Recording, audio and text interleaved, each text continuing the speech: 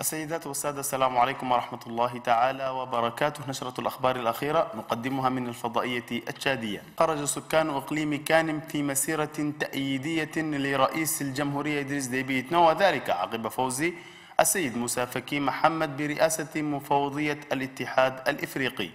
آدم محمد شرف الدين. مسيرة التعييد هذه شارك فيها أعداد غفيرة من سكان مدينة ماو حاضرة إقليم كانم هذا وقد شارك في المسيرة لكل من حاكم الإقليم عباد سير فضل إلى جانب الإداريين والأسكريين والسلطات التقليديين بالمنطقة فضلا عن طلاب المدارس التعليمية وأعضاء جمعيات المجتمع المدني وممثلو الأحزاب السياسية بالإقليم.